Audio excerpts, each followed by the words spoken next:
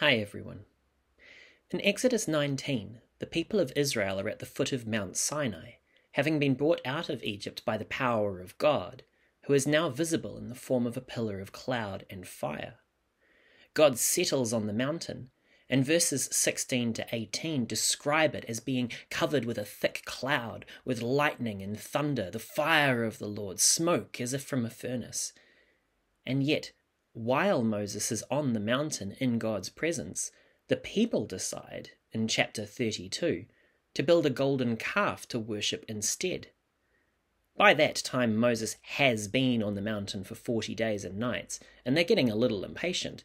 But they're right next to a mountain covered with God's glory, and they decide that a golden calf is a good substitute.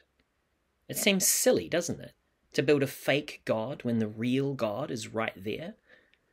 But as I've mentioned before, Exodus 20, verse 19, shows that the people are too intimidated by the presence of the real God to listen to him directly, saying to Moses, Don't let God speak to us, or we will die.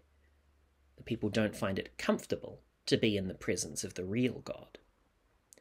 Chris Tiegreen, in his devotional book Worship the King, says that's the tendency of the human heart.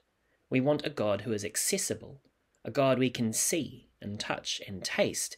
And when the true God offers us himself, accessible turns to intrusive. What we really wanted was a God we could manage. That's more comfortable. We might think of the idol making Israelites at the foot of Mount Sinai as a wretched hive of scum and villainy, and they are, but we're the same. God is right there for us as well. In fact, He's within us if we've asked the Holy Spirit into our hearts.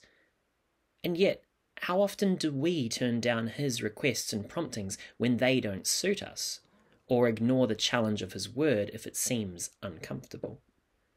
Let us remember that God knows the beginning from the end, and that He is doing everything possible to see us enter into His salvation.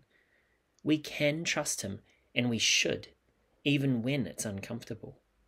The God of Sinai can save us, a golden calf cannot. Thank you, God, for drawing near to us. May we draw nearer to you every day. Blessings.